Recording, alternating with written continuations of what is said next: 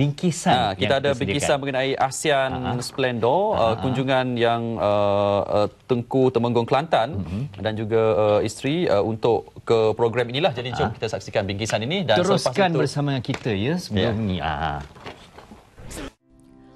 Hub Media Kreatif dan Teknologi CMT Universiti Teknologi Mara UiTM yang telah ditubuhkan pada Mei 2015 telah berjaya menjadi hub pembangunan untuk media kreatif dan teknologi di UiTM dan di rantau ASEAN selaras dengan dasar industri kreatif serantau. Sejak penubuhannya, CMT telah mengendalikan banyak program, projek serta inisiatif yang berhubung kait dengan komuniti ASEAN serta aspek pendidikan dan teknologi.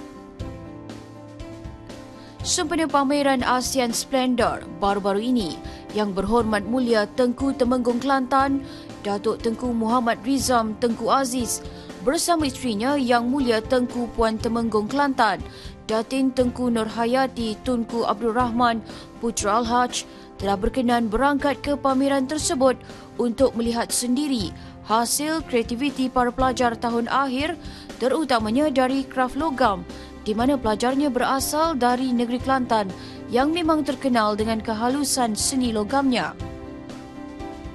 Di sini pelajar mempamerkan hasil kerja mereka yang begitu membanggakan. Melihat uh, hasil Uh, kreativiti penuntut-penuntut tahun akhir ini saya rasa amat bangga sekali uh, dan saya juga uh, berpendapat um, untuk mengorak langkah ke depan lagi uh, memang uh, hasil ini akan dapat pasaran uh, di masa hadapan.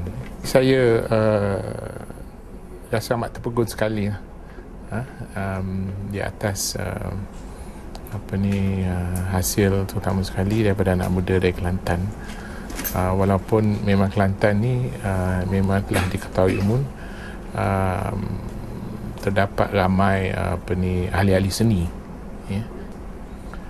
Um, saya rasa ini merupakan uh, UiTM merupakan platform utama mereka-mereka ini uh, untuk uh, di masa hadapan yang saya rasa mereka amat berpotensi sekali uh, untuk men- menjadi seorang entrepreneur yang yang berjaya insyaallah Kerjasama dari Yayasan Nur Al-Syakur naungan tuanku berdua memberi ruang yang lebih luas kepada anak muda untuk meningkatkan tahap kemahiran mereka di samping mengaplikasikan teknologi yang sedia ada.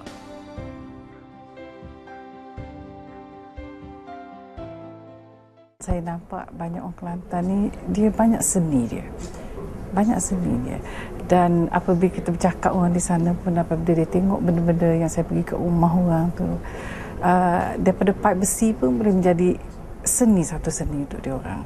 Tetapi tidak ada yang nak membawa keluar kreativiti itu.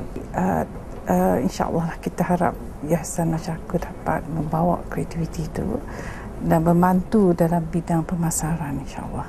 Um, sebab uh, seni ni adalah sesuatu yang kita memang tidak boleh kata tidak boleh kawal. Memang ada pada mereka tapi uh, uh, hanya memerlukan uh, um, satu platform. Dan insyaAllah lah Yayasan ya, Syakur akan bekerjasama dengan universiti-universiti dan juga IPT yang sanggup bekerjasama. Dan kita insyaAllah kita akan tengok macam mana kita akan uh, uh, selaraskan lagi insyaAllah ASEAN Splendor merupakan suatu usaha untuk mewujudkan generasi muda kreatif yang dapat menggabungkan elemen-elemen dari seluruh ASEAN seterusnya merealisasikan agenda komuniti satu ASEAN.